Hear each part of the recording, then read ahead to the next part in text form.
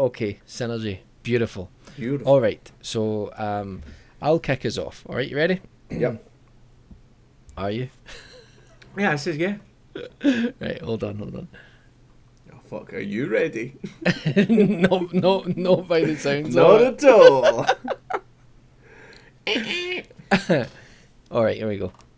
Good evening, dear listeners, and welcome to another episode of the podcast where we, the uh, people at Ghastly Tales, talk over different horror subjects. Subjects? Yeah, that's right. you say another, but I mean, it's been about what seven years since the last. I know, I know, but I have to, I, ha- I have to like, I have to qualify it. I have to be like, remember we did these. These other ones, yeah, those other two, those bi the biannual podcast. yeah, exactly. I think uh, we haven't done one for it. What, what was the last one actually? It was last year. Um, Or was it last year? Did we do one this year? oh, we no, we did. Uh, I think the last one was Halloween, mate. Really? My Yeah. God. Well, that's that's not good. Well, we keep saying this. We are going to try and do more of these. Um, I should say I'm we are. Mike, and you are And whatever you want me to be. you're Callum, I'm uh, and we are two of the people on this channel. Two people what are ghastly tales. yeah, yeah. So um, the other week, I noticed that it was the the 60th anniversary of uh, the horror of Dracula. Was it the no no no? It wasn't the horror of Dracula. It was the 60th anniversary of. I need to start this again, Cam. I've just realised. I've just. I've just realised that I've fucked. I've fucked up majorly. Right, right. Hold on, hold on. I'm now. I'm now doubting myself. Hello, Michael. I'm now doubting. Like, uh, yeah. Do you know what happened there? Mm. You can keep this in if you want, right? I forgot what year it was. Well, what year did you think it was? For a second Marty there, I started thinking it was 2016, and I, I have in front of me a list of Hammer horror films, Right. and I'm I was thinking, oh, it was the 60th anniversary of uh, the first Hammer horror movie. Okay.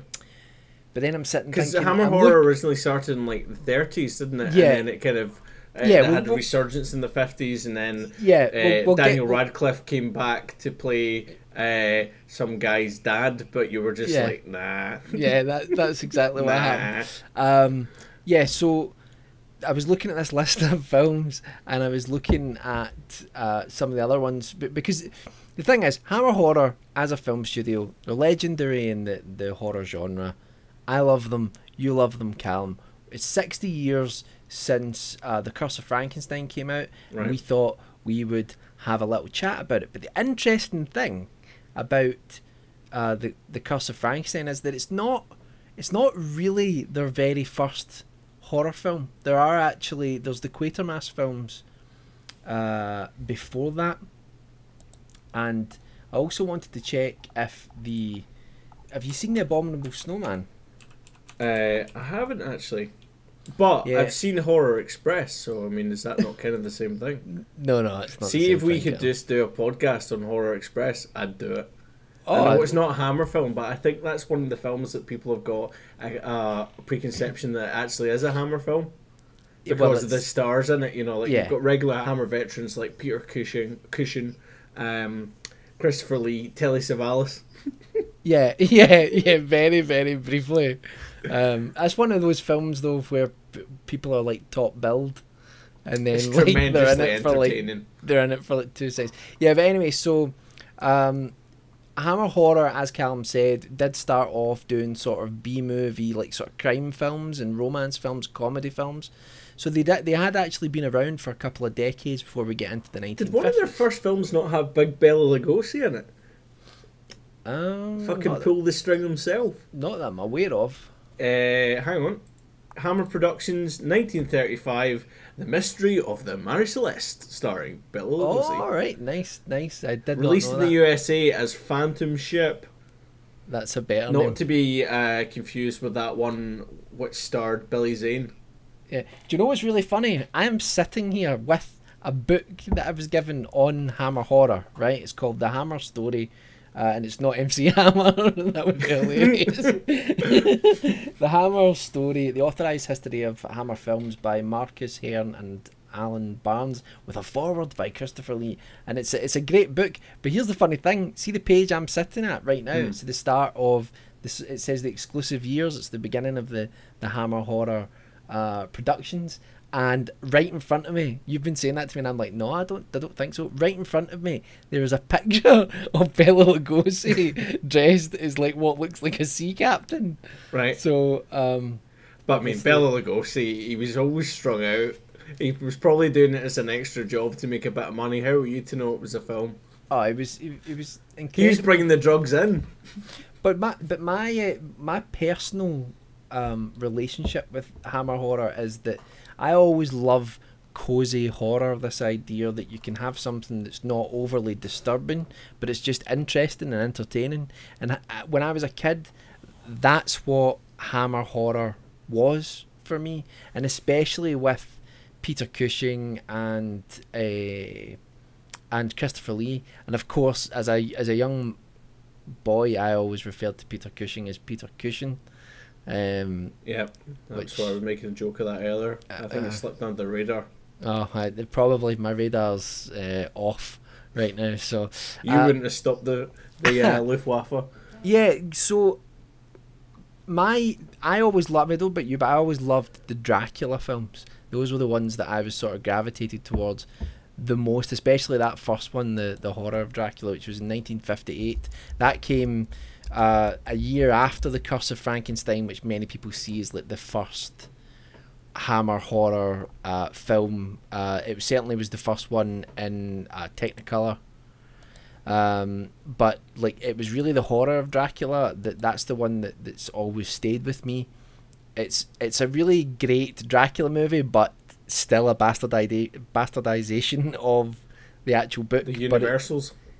Uh, yeah, well that, that's the funny thing as well because That's Hammer- what a lot of people like to kind of because I think a lot of people write but they are remakes. off. But they are Yeah. remakes. They are they are they are technically remakes because as far as I remember, Universal were involved with uh with Hammer Horror and like agreeing to allow them to remake and That's why Hammer Horror treaded the same the same sort of uh sources because they did the Mummy, they did the Frankenstein films, they did the Dracula films, they even did a, a sort of Wolfman film at one point. So they, they really went through all of the, the sort of universal properties, although Plus, the stories are at very the, different. Uh, at the risk of being slightly sacrilegious, I would probably say that Peter Cushing was a better Van Helsing, but never mind.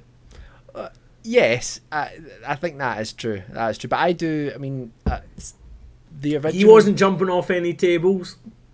No, Fucking no. Peter Cushing got right in about those curtains. I'm trying to remember the name of that actor from the Universal the Universal films. I know. I think he was Scottish actually. Nobody cares. they do care. That No. the I I really enjoy the Universal horror films. I think they've got a really sort of unique kind of they they they get more of the gothic uh feel to me than the but in a hokey way obviously. Hang um, let me just find Hammer his films. name actually because we should really do him justice. Uh, Edward Van Sloan. I don't think he's Scottish, mate. he sounds like a fucking Nazi might be. infiltrator. He, he might be. Check his bio. A U.S. character actor. He is of the close. He has he of the close cropped grey hair. What an interesting uh, description. No. All right, okay. He's not from I Scotland. he's That I'm Scottish. just I'm just Stop I'm just, trying to claiming things. repatriate everyone. He's like you're like that guy from what was it? Goodness gracious me, where they, they start talking about Jesus and you go, ah yes, Jesus, a good Indian boy. yeah, yeah. Um, no, okay, he's not Scottish, but uh, yeah. So it was the Dracula films I gravitated towards, and really, in a lot of ways, Peter Cushing as Van Helsing was the original sort of hero for me. That that. Uh, not in my life, but in in films, he was the first character that you saw reappearing in a number of the films and sort of always fighting, fighting evil. You know, can you remember the first time you saw a Hammer horror film? um, it was probably one of the Frankenstein films, and Right. it was probably one of the. I think it's maybe the third one. Is the third one I've seen them all, but I think it may have been the the one where um, a Frankenstein takes on an assistant because he loses the use of his hands Right. uh, in a casino. Um, I'm trying to remember. Uh, yeah, this I think is, this is a really this is a really good discussion of Hammer horror films where we Yeah. can't actually remember what films we're talking about. in fairness, I think it was very young because it's the kind of thing in the UK that was quite frequently run at like weird times on like bank holidays and stuff like that. Yeah, they got to the point where, like, certainly uh, when I was a kid, it, in the beginning, like in the, the sort of early to mid 1980s, they were showing these films kind of late at night on like a Friday night and stuff like that. But Yeah. then, like, even just five years later, I, I'm sure I remember one of the, the, the Hammer Dracula films being on like Channel 4, like in the afternoon. Mm. Maybe Did with some slight TV edits, because that's the thing. Compared to the the Universal stuff, they are they're much much much more gory Oh yeah, absolutely. Well, they, there's and that famous in many cases. Yeah, yeah. There's there's that famous shot at the start of the horror of Dracula where the blood drips down over over the the coffin, and I, and I think like that that was them trying to show what um, color could do for a horror film because up until that point. Uh, most ho- I, I don't know if it was it maybe the first color horror film I'm not sure um, Hmm. because horror films were normally B movies Let's not say anything we can't take back. well I've said it now Cal All right. Oh well, it's not. It's not. to be fair, this to be fair, I do remember an early version of the House of Wax, which has that really sort of strange. It it's not sort of color proper. It's like kind of tinted. Yeah, Uh, I remember that. I mean, House of Wax was one where they were trying. Are you? I mean, when you say tinted, are you sure you weren't watching the three D version of House of No, Wax? I'm oh, talk- this is weird. It's all. I'm I'm talking at no, I'm talking about the version of the House of Wax. Are you talking about the Vincent Price version? yes. I'm talking about the I'm talking about the version that was like 20 years before that. Co- colorization is something that I've got a a bit of a disdain for. Yeah, but I'm not sure if it was like the the print of that film that I saw. I'm not sure if it was uh, actually done after the fact or if it was some sort of strange colorization tech they were trying out at the time. If you know what I mean. W- I mean, it was on DVD, so so I don't really know. But anyway, back to Hammer. Yeah. Um, Yeah. Um, I think like Horror of Dracula's probably the first one I remember. Other ones that had a big effect on me. There's one called The Abominable Snowman, which I mentioned earlier, which was a year before um, the first Dracula film, and it's it's, possibly very one of the few that I haven't actually seen. it's it's it's black and white. Peter Cushing. It's about an ex- expedition into the Himalayas, and it's really tense, really atmospheric, character driven. Because obviously they didn't have the budget to really shoot up mountains properly. You know that's the thing. One of the, the lovely things about Hammer as well is that they kind of had this estate that they shot on, so like they kind of like just like constantly reused it Yeah. for the films. Um, but th- but this I, I think most, if I remember rightly, most of the Abominable Snowman's like it's it's basically interiors, but it's There's a lot of reuse as well. I think there's um there was a hotel that they used, I think, for the original Frankenstein's Mm. uh, that they eventually used for Rocky Horror. Um, Really? And now it's like I think it's now like a, a four star hotel or something. nice. You Does can Tim go and Curry actually stay there. Uh, uh, you wouldn't want Tim Curry going Oh, these days. Callum, It's too Callum, haunting. It's Callum, too haunting. Callum. That's a horrific thing to say. It's, it's it breaks my heart to see him. Don't patronise the man. So It's he's, he's not well. Frailty of the human body. I, it's funny how some people like. I think everyone's like that to a degree. Is that if they see someone who, in their younger years, really personified youth and strength and vitality, and then they see that person elderly and and or or struck down with an illness, it Reminds you of your own mortality. Yeah, I think Uh, that's why people no don't like more, no more kind of uh, personified by uh, Christopher Reeve. Yeah, that One minute you're. Superman, next minute you're eating for a straw. I thought you were going to say wheelchair man. Yeah, no, I didn't. I didn't want to drop down that low, Michael. Well, that's that's good. No, I, I, but it is. I mean, it's, uh, it's oh, woe is us looking at people that are suffering from debilitating illnesses. But I think that's one of the reasons why people don't like confronting that sort of thing. Um, Hmm. It's it's the same thing where you see people commenting on videos of someone who was like, um, was has like aged, or they think they've aged badly, and there's like loads of comments like, "What happened?" And it's like, it was forty years. It's Like- forty years since Well, like that Goldie role. Hawn, which is like slowly but surely turning into plastic. Oh, you're so mean. Is it raining where you are? No, it's sunny. Why? Can you hear rain? I heard for a little bit. Of, I wonder if Alright, Skype it- is it's just- turning your microphone up and It's down. just the t- uh, the tears that I'm shedding for all these lost souls. Anyway, um, Back Yes. to Hammer. back to Hammer. For the second time, we're gonna have a little bell we ring. yeah, yeah. Um, Back on topic. Yeah, but it's it, the, the funny thing with Hammer as well is that they they peaked over a very short space of time. If you look at the films that they made, once they once they got onto the success of making horror films after the first Frankenstein movie, and then they they followed that up with the horror of Dracula, and there was like a bunch of others after. They were cranking them though. Oh, Um, a couple of year, easy, Yeah. easy. I mean, um, one of my favourites actually is uh, the Brides of Dracula, which I think doesn't get a lot of love because it's it's a sequel. It's the first sequel to Horror of Dracula, but it Yeah. doesn't have.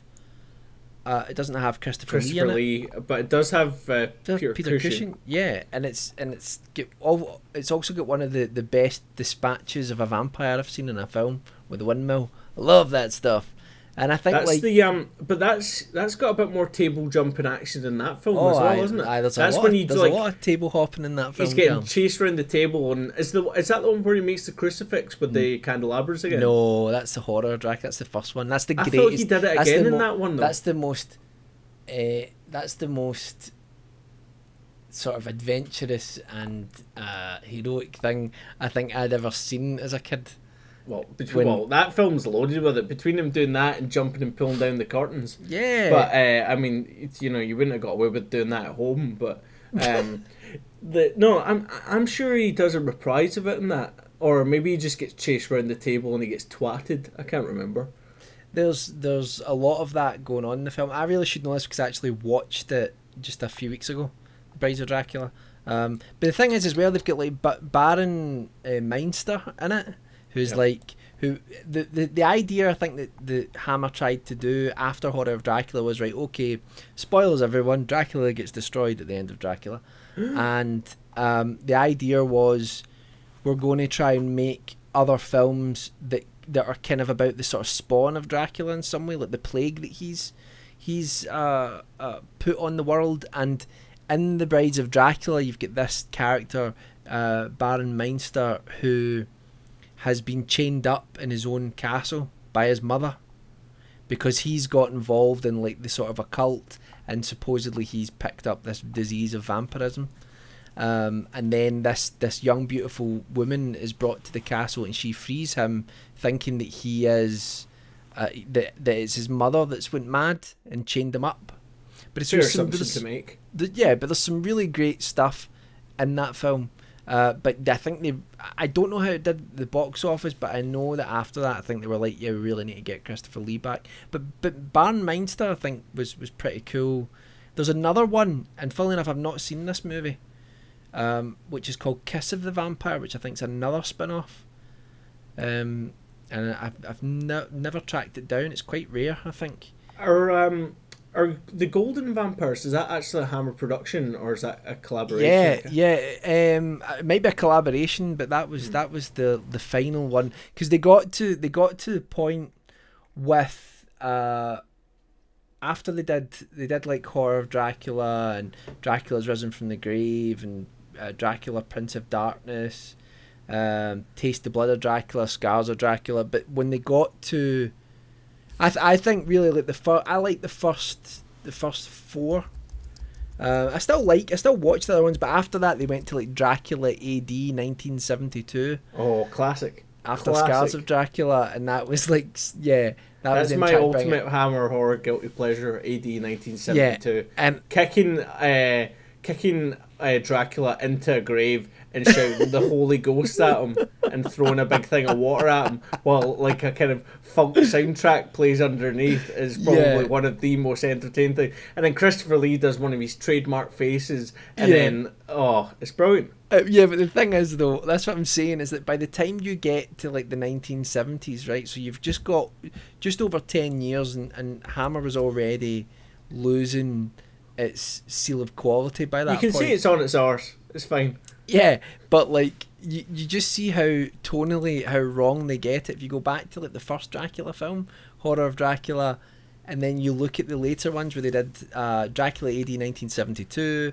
they did the Satanic Rites of Dracula, and then they did the Legend of the Seven Golden Vampires, which I must say to everyone, you have to watch that film to believe it.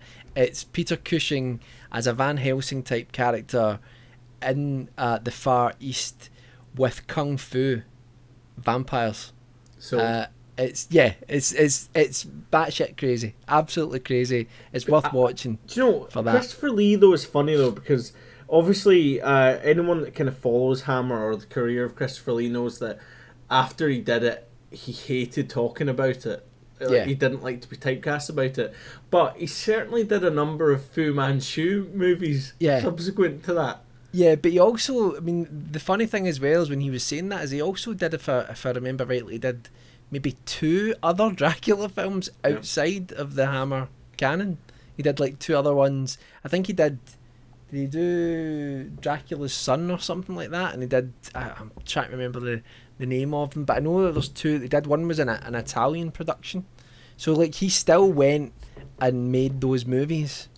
Um, just saying here, Dracula's risen from its grave from from the grave. I don't think that's Hammer. yeah, that is Hammer. Is it? Yep. Fuck, there's so many of them towards. Do you know? There's- actually, I have a much more of a familiar with the Frankenstein ones There's, than Dra- there's there's eight. I think uh, the the original uh, Dracula films. Yeah, they definitely were pumping them out. Oh, definitely. But the thing is, as well, though, we should say, as much as I absolutely love the Dracula movies, there's there's other good stuff that Hammer did. You know, you look at the first, uh, the Mummy movie. Um, there's there's even um, like I say, I mentioned the Abominable Snowman, which I really highly, highly recommend. Uh, there's there's even that zombie movie they did, Plague of the Zombies, um, which is interesting, and I quite liked. Now I always get the reptile and the gorgon mixed up. I think it was the reptile that I quite liked, um, which I think has Peter Cushing, uh, or is it the gorgons get Peter Cushing in it, and uh, Christopher Lee's got both of them in it. But I think I actually preferred the one that didn't have them in it, which was the reptile, and they were quite sort of similar movies. Is Uh, the uh, the new Mummy film starring Tom Cruise is that Hammer production? No, it's a Universal. The Universal are trying to. Yeah, no, yeah, all right. That looks you. rotten, doesn't it? it does. It's all right. You can see it. Um, the, well, they've got um Russell Hold Crowe. on. I'm reading. uh, What, is- what is all this? But sorry, I'm just reading the the byline for the new the Mummy, and Russell Crowe is in it as Doctor Henry that's, Jekyll. that's what I was just about to say. Aye, that's is they're trying to do like a Marvel universe, so he's he's Oh, going to be Doctor. Doctor Jekyll. Oh, and- fuck off. But I have to say though, right, let, back to Hammer. Um, one of my f- absolute favourites, in fact, two of my favourites, Quatermass in the Pit, which is a, a remake of a BBC serial, which is great. It's a sort of science fiction horror uh, film, but the the creme de la creme for me is like The Devil Rides Out is just, oh, it's an Mm. amazing movie. Have you seen The Devil Rides Out? I have indeed. Oh, I love that movie. See the first, the opening 15 minutes of that film with Christopher Lee. He could have played James Bond. This, oh, I that- remember your argument for this. Yeah, because he's so, so charismatic in it. Yeah. Um, and the Devil Rides Out for for tho- the Devil Rides Out for those that Because it starts at the dinner party, doesn't it? And he's just kind of floating about as It's about- Christopher Lee can do. I- It's about um, two friends who go to visit a, a, a younger friend at this sort of party, Yeah. and uh, they have they have sworn to a relative that they'll look after him. And when they get there, uh, Christopher Lee's character, who's like uh, Duke de Richelieu, he he he knows that he recognizes there's some sort of occultism going on, and he's sort of wandering through this party and like listening in to everything people are saying, and it's just it's fantastic. He's trying to expose them, and it ends up with this sort of titanic uh, battle for the soul of this younger friend. Um, between Classic. If you'd like to know more, of course, you and Alan did an episode on it, That's true. We did we did a we did a double features episode, which, which uh, we'll put in the description, or if you're listening to this as a podcast, it- you'll have to go and look for it. I um, I absolutely loved this film. It's always stayed with me. One of the key scenes in the film is they draw this magic chalk circle. And uh, they have to spend the night inside this circle, even though the forces of evil are going to send things to try and either get inside the circle or uh, tempt them to, to leave it. and it's just it's it's phenomenal. I mean, I should say if if you've got um if you prefer sort of uh, more sort of modern films, you're going to look at a lot of these uh, Hammer films, and obviously they've aged. At the time, they weren't done with incredible budgets. So there are things that are hokey in them, and some people do feel that Hammer was at its best when it stayed within the sort of gothic era. You know, that's Yeah. when it got it right, and then when it did other films outside of that, it didn't work so much. But, but you know, um, the Devil Rides Out is not in that era, and it works it works amazingly well. In fact, I would go as far as to say that's one of my favourite Christopher Lee performances in that movie. He gets to play the good guy, and he's got loads of lines, unlike some of the Dracula movies. In fact, one of the Dracula movies, if I remember rightly, the lines were so bad that he said, "I just don't want to say them."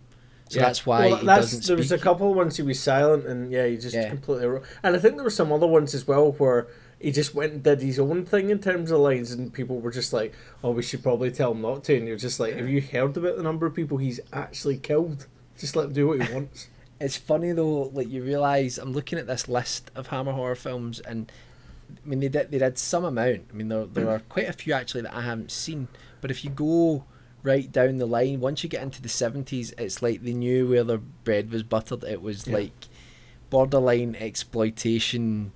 Uh, it's funny though, like we horror. were saying though, it's all vampire stuff. It's like most of it's vampire stuff, apart from Doctor Jekyll and Sister Hyde. classic. But it's like we were saying that, or I was saying earlier on. There's a lot of like misconception about which is what, and I think a lot of people get Amicus and uh, Hammer uh, kind of confused they a do. lot. They do, but I mean, Amic because they they used a lot. They used some of the same directors. They used a lot of the same actors. But Amicus were doing mainly anthology films, and they were also contemporary. Flying skulls around on wires. Yeah, they were contemporary, whereas Hammer was largely, like I say, set in the sort of gothic era. But the Tales thi- from the Crypts was Amicus, wasn't it? yeah, yeah. Tales Yeah. from the, they they did uh, Tales from the Crypt, uh, Vault, uh, Vault of Horror, From Beyond, uh, The Grave. Uh, they did like a whole bunch. Doctor Te- Doctor. Terror's uh, House of Horrors is probably my favorite, and yes, Howard the Duck. You're right. They did Fuck that. off, they well. didn't. They did. They did Howard the Duck. Way that back was just then. that was actually meant to be a joke. No, no, no, they did it. They absolutely did it. Uh, I need to check Peter. Peter Cushing was Howard the Duck. Ah, you've you've tricked me back. Well done. and uh, yeah, so I would, I really would highly recommend people to go back and look at the Hammer horror films. If, like me, you like atmosphere, you like interesting stories, you like performances, you like a, a horror which is more about kind of just just being a little bit creepy rather than being overly disturbing, then uh, Hammer Horror is definitely a great a great place to go. And there are, there's so many films, but I would definitely I'd recommend the the first uh, the first few Dracula movies, the the Frankenstein ones, or the first two Frankenstein ones, the Quatermass in the Pit, the Devil Rides Out, the Abominable Snowman. Um, so there are a bunch of ones there that people can go and watch. I'm not saying that you have to watch those ones. Do it. You, you can go and watch other ones if you want. Interestingly enough, as well, um, as we were saying, there's kind of like a resurgence as well, Mm. uh, where we've had um, the the Woman in Black and what was the other one uh, they made recently? Hammer? They, I want to say the returned. I'm getting confused with the ward, which is obviously Uh, um, they did let me in. I've got a list here. I, the Re- the resident was the one I was thinking of. They did Right. let me in. The resident, Wakewood, the Women in Black, the Quiet Ones, and the Women in Black, Angel of Death. So that's the last time they, they had a film in production. Then was uh, the Women in Black, Angel of Death. Yeah, they sort of came back. Uh, in the after like in two Like a wet thousand ten fart. and onwards. Well, I've not seen I've not seen the Let Me In remake. I love the original, but I hear the remake's quite good. I haven't. Uh, sorry, I have seen the Women in Black. We went to see that in the cinema. For Yeah. what it was, I love that. I'm I'm a huge fan of the Women in Black story by Susan Hill. Like I, I, um, I love that story. I love the book. I've been to see the play. I've there's a there's an original um there was a film already previously in the 1980s was made for TV version which is scarier I think because it's more like about dread than jump scares. But for what it was I still thought it was I thought it was I thought it was decent. I would say that if you're if you're looking for something Hammer esque and you've seen all the Hammer films or you've seen all the ones that interest you, if you're looking for something more modern in the kind of vein of them, I would recommend you put a bit of time if you haven't into watching Penny Dreadful. oh that you've you've mentioned that to me several times Yeah. but I've never seen it It does uh, skirt across a lot of the characters as well. Um, you know, you've got characters like Dracula, and I, I don't want to go too much into it because I don't want to reveal everyone that's in it. But you've got like Dracula, and you've got Frankenstein, um, mo- uh, monster, and Frankenstein himself. I'm not making that mistake, but um, it's kind of it has a period setting, and it kind of has that same kind of grittiness and tone uh, but a more contemporary version of it that Hammer did, and it's got the best James Bond in it as well, which So- one's the best James Bond the Welsh one. Big Tim. Timothy Dalton is that what they call him the Welsh Tim. one the Welsh one's the best one you've got Ah, they have I don't know. I've always got a bit of. I've always got a soft spot for Sean Connery, but I think Timothy Dalton's probably the best James Bond. He didn't have the best films though. What Timothy Dalton? Yeah. They're not bad. They're not the yeah, best. no, no. But they're the only fifteen certificate I get, ones as well. I, I get like you believe he's a killer, yeah. you know, whereas like, uh, Roger Moore though is hilarious. So I said to Cubby. you know, it's. I mean, the fact that he got to the fucking age that he did, and it was like ninety-eight percent the film was shot with a stuntman. yeah. Yeah. Beautiful. Oh, that aye, because when you look at like a view to a kill and all that, clothes and I'll buy you an ice cream. I know it's when he's like, I know he's like sixty-five, Wow. and he's like running around Eiffel Tower. Yep. But that's the thing. He was like, he was like fifty, I think, when he first did the role. Yep. And uh, well, yeah, he was he was the, the oldest James Bond anyway. Yeah. Which the the first one they did was uh, Live and Let Die, um, which was actually to bank off of the success of blaxploitation. Yeah. Um, which is something we were talking about potentially doing a podcast on black horror. Seeing as Get Out's come out and has done very well, and is by all accounts quite a good film. It, it, it is. I, I enjoyed it, and you enjoyed it as well. But I think, um, yeah, I, I would be up for that. I have to say that my my knowledge of blaxploitation is uh, fairly thin. Come in, Michael. say- Come into my parlour. I know you you are you're in the business. You're in the know about that that sort of thing. Well, it's either we do that or we do whether firing the director of the FBI is going to affect the next season of X Files. It's up to you which one you prefer to do. Let's do blaxploitation. Splendid. Um, is there anything else you want to say about Hammer Horror before we go? There's many things, Michael, but I don't know if we can contain them entirely in this. Uh, other than Big uh, Chris and Big Peter, who would you say was your favourite Hammer alumni? Oh, um, I think it's fucking Alfred Pennyworth for me. Big Michael, Mike, Big Michael Gough. all right. Do you know, he was. I think he was in uh, one of the Amicus movies as well. Oh, he got around. Oh yeah, definitely, definitely. Uh, the actor I'm thinking of, I'm trying to remember his name. It's coming to me. It's coming to me through Michael through- York. it's coming to me through the through the uh, the the internet. I Andrew Andrew Keir. I think he also, if I'm right in saying, was in the Dracula films as well. He was in one of the Dracula films in the pit. He was in uh, he was in the pit. He was in Quatermass in the pit, and he was in one of the Dracula movies as well. He played the the monk that shoots the ice up underneath Dracula, which is amazing.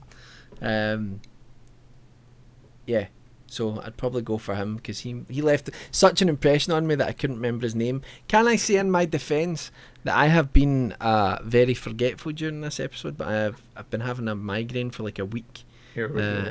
Uh, Disclaimer. no, no, no. I'm just saying. I'm just saying. And First that I've heard of it. it affect, aye, so it is. I've complained about it constantly to you. That's right. Um, it's it, it affects my uh, vocabulary and also affects my memory. So Motor functions uh, as you swipe everything yeah. off the desk. yeah. I also just would like to say that anytime I say anything offensive, it's also because I have a, a migraine retrospectively, alright? um, yeah, so I I have a I have a so, real soft spot for the Hammer films because it, it it was one of those things that my dad introduced me to and I think part of my love for it like comes from that. You know, me and I would sit with my dad and we'd sit and watch these movies, but also just having the these sort of heroes because a lot of the a lot of the Hammer films are straight up good against evil, Yeah. which you don't really get now very often. People always want to put like a human face on the villain, which I think is good on the whole, but it, I sometimes miss just having a sort of good old Titanic struggle between an evil character and a and a truly good character. And I would also say as well uh, that the the thing about Hammer Horror is Hammer Horror is a, a good example of how to do a soft reboot. And I say that in the sense that it came not that far off the kind of Universal Yeah, s- but it did them in a way that was interesting and different enough um, that you know it, they, they were worth watching. And, and and they're their own films in their own right whereas i think a lot of remakes these days are either like totally forgettable or don't i mean like the robocop remake for example i mean i would never ever watch that over the the remake uh, No. over the original sorry but but the the i would watch the hammer horror films and i would watch the universal ones separately for their own merits Yeah, they they they aren't really. The, it's just the idea that that Hammer Horror went with. Um, I think I'm right in saying that it was more like of a sort of distribution deal with Universal that they had, so that in America, Universal would distribute the Hammer kind of versions of their films. sure But um, but yeah, like uh, they they really they really get gothic horror right. And there's a handful of movies that just hit the nail on the head. piss it up the wall Yeah, no, well, there's there's also hit it much up the more wall. Did you say? handful I think said Hmm? piss it up the wall. yeah i did what does that mean? I just mean that there's there's a handful of movies still within Hammer Horror that piss out the wall, that they're shite. Oh, there's there's more than a handful of Hammer films Yeah. that aren't great. I mean, that's that's the thing. Like they they really, but there are a handful of really great movies, and there's there's a bunch of other solid ones. And the thing is, as well, these are the types of films that I can sit down and watch. I suppose there's a nostalgia element to it, but I can watch these films, even and recognize their faults, and recognize I think though as that well some with of them, them are not great. too. Like you have to give them credit as well for like some well credit in certain ways, and you know you can blame them in other ways for being an evolution of horror. Because I don't think we would have a horror as it is today without the Hammer films. Oh, absolutely not. I mean, they, they certainly pushed the boundaries uh, in terms of gore, Acceptability se- and taste. and, and, sex, really. Because that's, I mean, that's really the two things that you think of when you think of the the Hammer film catalogue is blood and uh, busty women. Basically, Fangs that's tits, basically. yeah. They they they did a lot of that. So. Um, That could be your uh, that could be your special account of Hammer. Blood and boobs. the Hammer horror it, story. it was really I think it must have been really shocking at the time, though. You watch these things now Oh, and you see, you think they're incredibly tame, but at the time, it must have been. I think it was seen to be in very poor taste at the time. Oh yeah, yeah, definitely. Um, But I mean, do you want to say that to Christopher Lee's face? no, no, absolutely not. But I just that whole that whole period where you had like you had Vincent Price kicking around, you had Peter Cushing, you had Christopher Lee. It's just ah, Perhaps the world's horror. most enjoyable over actor, Vincent Price. Oh, yeah, he's always hamming it up, but he's so good. He's Yeah. so good. There, there are some people who can do that. Very few who can do it. Um, can be campy and can also be sincere. I just watched actually rewatched actually Pit and the Pendulum, which I hadn't seen for Yeah, years, yeah. which could potentially come back in a kind of uh, a horror of Netflix type thing. Perhaps I'm not making any promises, um, but um, I, I forgot I hadn't seen that for years, and I forgot. Like I mean, he's just turning it up to 19 in that film.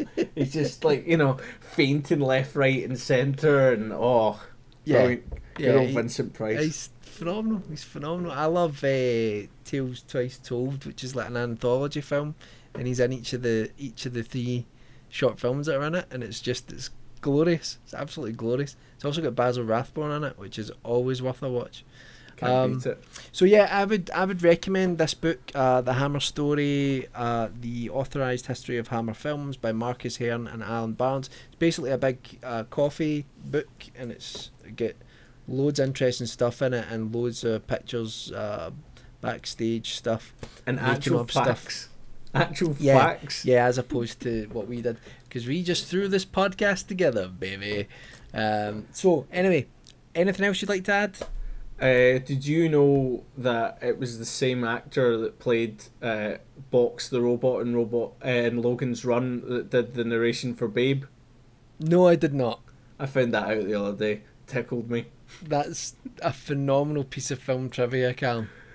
File Thank that you. one away. It's sure to come up in a pub quiz any moment now.